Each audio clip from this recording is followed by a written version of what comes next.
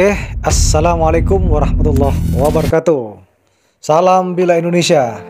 Luar biasa teman-teman semua Para pecinta Bila di seluruh Indonesia. Jumpa lagi dengan saya di channel Rumah Pande Yaitu Makar Bila Bila Indonesia. Teman-teman semua para pecinta Bila Luar biasa hari ini saya akan share. Ini ada sebuah karya Rumah Pande yang sempat saya review sebelumnya. Dan kali ini saya akan mereview ulang untuk mengetahui seperti apa perbedaan golok chopper black iron karya rumah pandai dengan golok serbaguna yaitu golok chopper full tang karya dari rumah pandai. Oke luar biasa ini. Bisa kita lihat ini teman-teman. Wow luar biasa itu. Tampilannya kinclong mirror. Wow keren sekali ya. Oke teman-teman.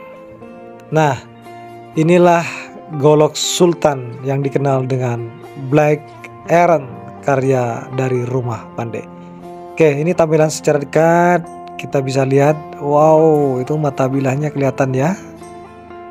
Wow, handle-nya sangat keren. Jos gandos. Luar biasa. Nah, kali ini ini adalah golok chopper full tang serbaguna Nah itu kelihatan tampilan secara dekat kinclong mirror.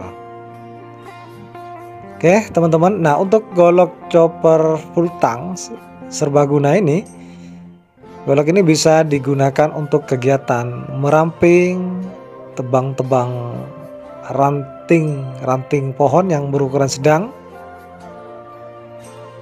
dan juga bisa potong bambu Wow tuh kelihatan ya. Nah mata bilanya Jos Gandos.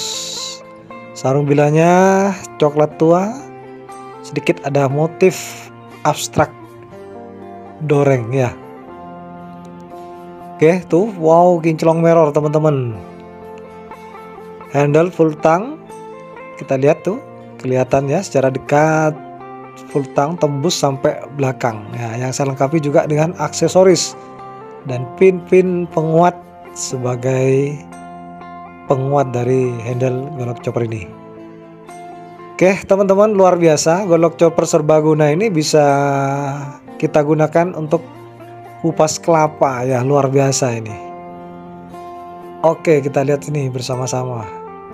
Nah itu kelihatan tampilan secara dekat golok Sultan Black Iron dan golok full tang serbaguna karya dari Rumah Pandai. Oke, itu tampilannya. Jadi bisa dilihat ini perbedaannya. Bisa dikira-kira ini. Wow.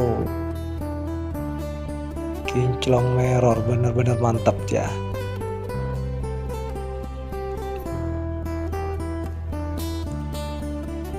Oke, kelihatan. Nah, untuk mata bilah dari kedua golok chopper ini berbeda ya, teman-teman. Nah ini untuk mata bilah. Kalau Sultan Black Iron kita bentuk menyerupai mata bilah pahat ya. Atau dikenal dengan motif tempas itu.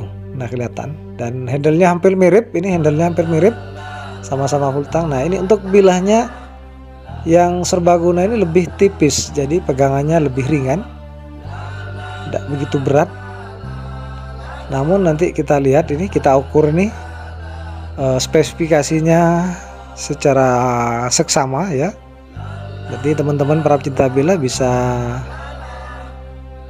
uh, apa namanya bisa berpikir kira-kira mau order golok yang mana seperti itu.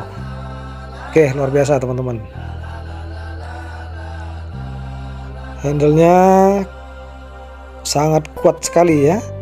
Handle saya menggunakan bahan kayu kening yang merupakan salah satu kayu termahal di Indonesia. Oke, kita lihat secara seksama ini. Oke, teman-teman. Nah, itu kelihatan ya. Mata bilahnya adalah model mata pahat atau tempas. Dan golok ini sangat tebal sekali, teman-teman. Ini untuk ketebalan ini kurang lebih 7 mili ya. Kurang lebih 7 mili. Tuh bilanya kinclong mirror. Wow luar biasa. Itu bisa dibuat bercermin teman-teman. Oke bisa dibuat bercermin ya. Handle-nya sonokling yang merupakan salah satu kayu termahal di Indonesia. Untuk motifnya adalah motif corak abstrak natural ya asli dari kayu seruling wow pegangannya antap teman-teman wow tuh kelihatan ya. Pegangannya antap oke kita ukur. Oke.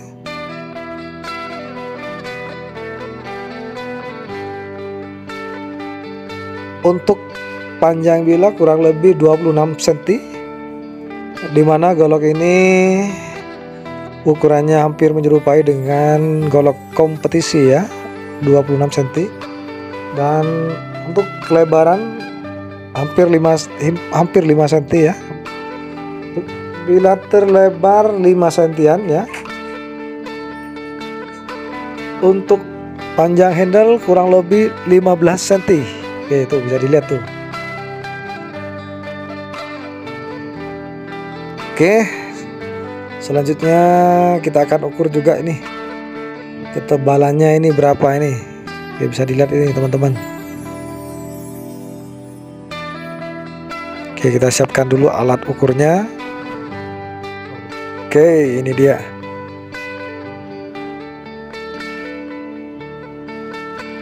Oke.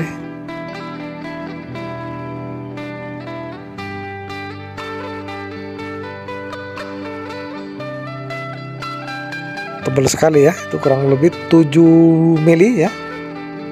7 mili ya ketebalannya jadi untuk bahannya ini benar-benar tebal ini. Ini kurang lebih bahan mentahnya ini 8 mili ini. Jadi harus pakai pir yang benar-benar tebal benar-benar ukuran pir sejenis tronton bisa digunakan nih dibuat kalau chopper black iron ini. Oke kita coba tes kualitas tajamannya wow luar biasa teman-teman. Wih mantap Oke kita coba ini. Kita bikin halus ini. Kita bikin tipis Oke itu kelihatan ya. Nah untuk biasanya untuk sejenis golok itu Ketika dibikin tipis ini sangat susah teman-teman. Nah ini sangat susah. Nah tapi bisa ya. Wih. Jos gandos golok sultan black iron karya dari rumah pandai teh. Oke. Oke ini untuk sarung bilanya ini grade A ya. Bahan kulit sapi asli ini tebel ya. Sangat tebal sekali tuh kita buat hitam dan sedikit ada motif coklat. Oke ini selanjutnya. Golok chopper full tang serbaguna. Nah ini untuk ketebalan kita lihat juga di sini kita ukur. Nah untuk ketebalan kurang lebih 5 mili ya Untuk bila terlep oh, belakang ya 5 cm ini Untuk depan sekitar 5,3 ya. Untuk panjang bila 28 setengah ya. Handle 15 setengah cm Dan full tang ya tembus ya. Wow keren. Nah ini tidak ada tempas ya, ini polos, modelnya polos. Ini namanya sebaguna, kita tes juga ini. Wow, luar biasa, mantap sekali ya, luar biasa. Wih, jos gandos, mantap mantap. Coba kita bikin tipis ini, ini, ini sulit biasanya ini, harus benar-benar tajam ini. Wih, kelihatan ya, wih, luar biasa teman-teman. Luar biasa. Tuh hasilnya jos. Oke teman-teman para pecinta bilah golok serbaguna ini bisa digunakan untuk kupas kelapa. Jadi bagi teman-teman yang suka atau usaha kelapa direkomendasikan miliki golok serbaguna kupas kelapa. Oke itu kelihatan perbedaannya. Untuk bahannya lebih tebal yang black iron karena memang khusus itu kita ambil yang kulit tertebal ya. Yang satunya sebaguna kita ukuran standar ukuran sedang dan sama-sama grade A bagus. Oke nah ini uh, secara dekat. Jadi kelihatan ya. Wow nah itu untuk bilanya ada tempas ya. Atau mata pahat. Nah untuk handle hampir sama. Cuman sedikit lebih melengkung untuk golok sultan black Oke mantap Oke teman-teman. Uh, Mungkin itu saja review singkat kali ini. Mudah-mudahan bermanfaat. Salam bila Indonesia. Salam santun. Salam silaturahim. Sekian terima kasih. Jumpa lagi di video selanjutnya. Wassalamualaikum warahmatullahi wabarakatuh